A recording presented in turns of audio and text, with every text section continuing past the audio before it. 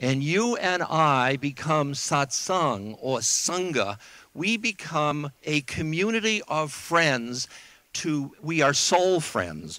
We are friends that are helping each other awaken out of the illusion that who we thought we were is absolutely real. That's all we're doing. We're not de- denigrating who we thought we were. It's a beautiful, the ego is an exquisite instrument.